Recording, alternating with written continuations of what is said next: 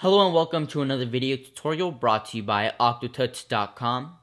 Today we're going to be making an outer space design featuring one of my favorite musicians, Kid Cudi. And this is what the final design is going to look like. As you can see, we have an image of Kid Cudi performing in concert, and we have this really cool and colorful outer space theme going on. And this image was, or this design was made from this image. So here's the before, and here's the after. So as usual, I have a folder with everything that you need to make this design. And I made this folder so you guys could download it and it'll make things simpler for you guys. So the link to download this folder will be in the video description below. In this folder, we have the original image of Kid Cudi performing in concert. I also included the final PSD so you can see exactly what I did to make the design. I included the final JPEG image so you guys could show it off. And I included the crescent moon and three Kid Cudis used in the image and then finally the sunburst brush used in the image. And I gathered these from a couple different websites, so I'll read them off to you really quick. Uh, I took the image of Kid Cudi performing in concert from RobbyWells.com. I took these three PSDs from OfficialPSDs.com. I took the crescent moon image from 4.bp.blogspot.com. And I took the sunburst brush from creativeliberties.deviantart.com. The links to all these websites will be in the video description below. So with all of that out of the way, let's get started with the actual design. So go ahead and open up the original image of Kid Cudi performing in concert and let's get started. The first thing we want to do is make the colorful clouds. That's probably the most important part. So let's get started by making a new layer. So let's click Command Shift N if you're on a Mac or Control Shift N if you're on Windows and press OK and then we're gonna go to filter, render, clouds, and bam, just like that we have clouds. So we wanna change the blend mode to overlay, and then double click on the clouds and click on gradient overlay because we wanna make them colorful. So again, let's change the blend mode to overlay for the gradient, and then click on the gradient image, and we wanna add this dark spectrum gradient. Pretty much every version of Photoshop comes pre-installed with this gradient. To open it up, just click on this arrow on the right side and click on spectrums and it should open it up and just click on the dark gradient or the dark spectrum and press OK. Next, we want to change our angle to 130% and the scale to 66% and press OK. So before we move any further, we want to choose our eraser tool with a soft brush with a size of about maybe 45 or 50 pixels and we want to make sure the opacity is around 30 or 35%. And we want to just go around and erase um, the gradient from Kid Cudi. We want we don't want to completely erase it because then it'll look too bland and normal, but we want to make him stand out a little bit more. So after that's done, let's make another new layer.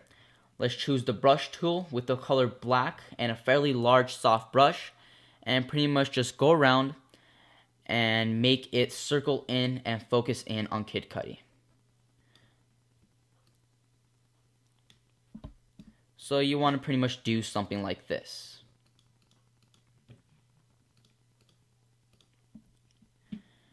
Alright, so now that we're done with that, the next thing we want to do is make the stars. So let's make another new layer. Let's choose the paint bucket tool with the color black and just fill that in with black and then we want to change the blend mode of that to screen. This will look like we did nothing, but that's what we're supposed to do. So next go to filter, click on or hover over noise and click on add noise. You want the amount to be 10% and the distribution to be Gaussian and monochromatic to be checked and press OK.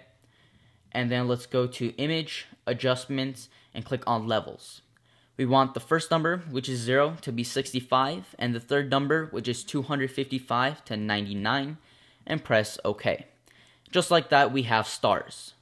Now what we want to do is choose the eraser tool with a soft brush with the opacity of 100%, and let's make this fairly big, and just go around and erase the stars wherever there is a black area. So we want to erase the stars from the crowd, like so we want to erase the stars from the black outline that we did. And then finally, you'll want to erase the stars from Kid Cudi, and I'll do that shortly. So let's make the brush a little bit smaller and erase the stars from off of Kid Cudi. So there you go. Now we're done with the stars. Now what we want to do is add the moon. So let's click on File Open and let's open up that crescent moon. What we want to do is select this tool, um, just the quick selection tool or the magic wand tool would do. And then we want to double click on the background layer and press OK to unlock the background layer and just click. And that should, that should select the black area for you and press delete and we are good. So let's press Command D or Control D to deselect. Select the pointer tool and just click and drag that into our image. So it should be something like this. Let's press Command T or Control T if you're on Windows. Make this a lot smaller. Even smaller than that.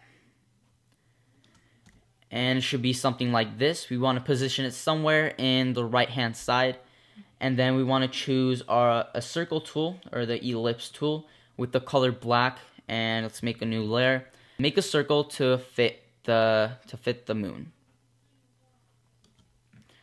so it should be around that size. Let's move that black circle under the moon.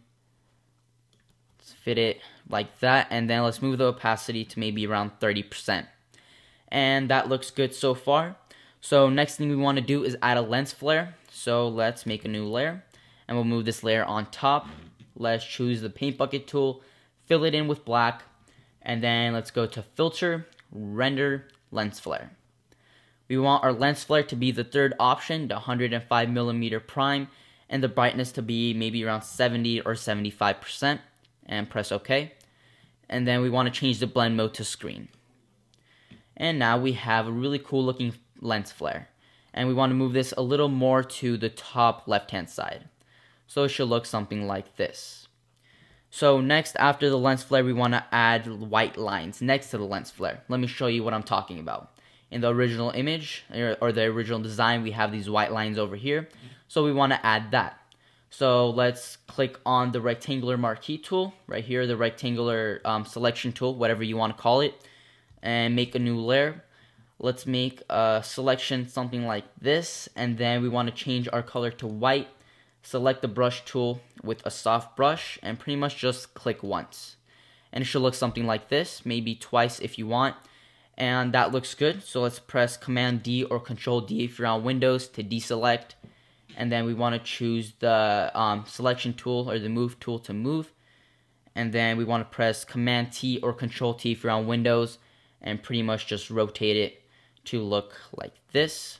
And then we want to press Command J or Control J if you're on Windows, and then Command T or Control T if you're on Windows, and rotate it again to look like this.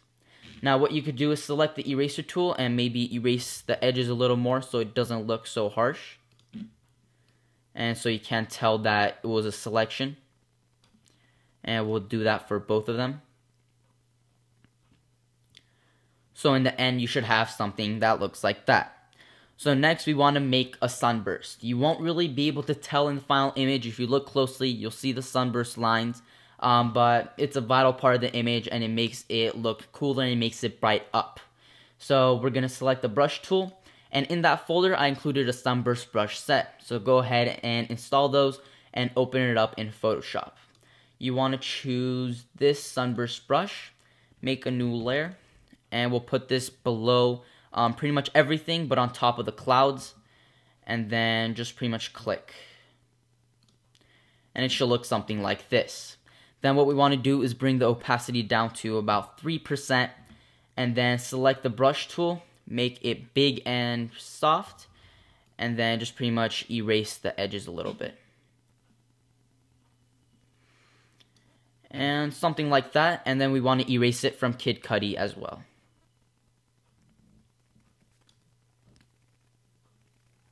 and also the crowd a little bit. So we should end up with something like this.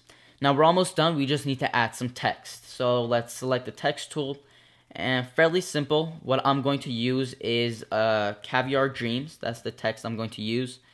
And I'm going to type in his quote. I smoke to get high and I believe that's the first line, yes. And then we're going to choose the text tool again, and under that, we're going to type because the world is so low.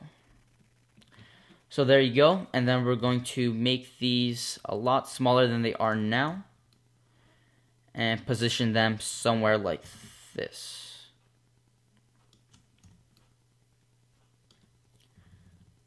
So they should end up looking something like this. And actually what I'm going to do is move the moon a little to the right and a little to the top so it doesn't get in the way of the quote. So we'll move that there and then one last thing is we need to add the apostrophes around the quote and then we're going to make these a lot bigger. So like that.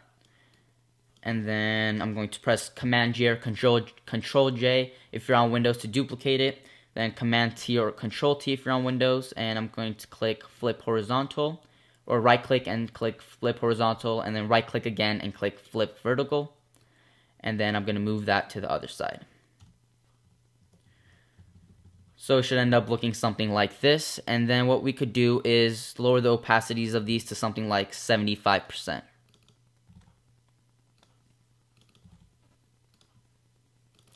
Maybe 50 if you want. And then what we'll do is move these a little more so it doesn't get in the way of those white lines and we'll position them like so. So that looks good. And then finally, let's add the text that says Kid Cudi. So capital K, lowercase i, and capital D, just like in the final image. And then we have, we'll, oops, we'll keep going and type in, keep it on that same, same text layer and type in capital C, lowercase u, capital D, lowercase i. And then we'll make this a lot smaller as well. And we'll position it somewhere like so. And then what we're going to do is duplicate it. So press Control J or Command J. And then what we're going to do is make it a little bigger. We're going to make the duplicated one a little bigger and this is this goes behind the original Kid Cudi text and we're going to go to filter blur Gaussian blur and press OK to rasterize it and we're going to blur it with a radius of about 3 pixels and press OK. So it should look like this. And now we're almost done. Now we need is now all we need is the smaller Kid Cudis. So let's open up these three and then let's just bring these in. Press OK bring in the second one. And bring in the third one. Okay, so we're going to select all of these and make um make them around the same size and we want them fairly small.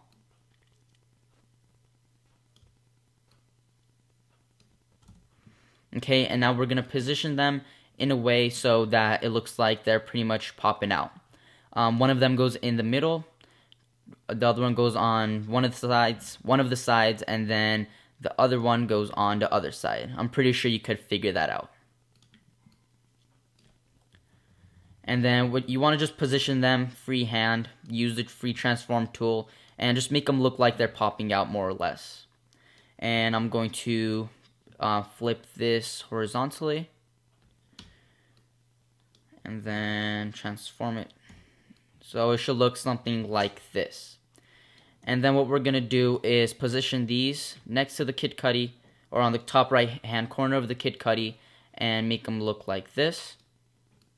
And then just change the opacity of these to about 25%. So in the end, they should look something like that. So that's pretty much it. We are done with this tutorial. This is what we came up with, and this is the final PSD that I did beforehand. So that's it for this video tutorial. Hope you guys enjoyed it. This is Octotuts.com, and until next time, I will see you guys later.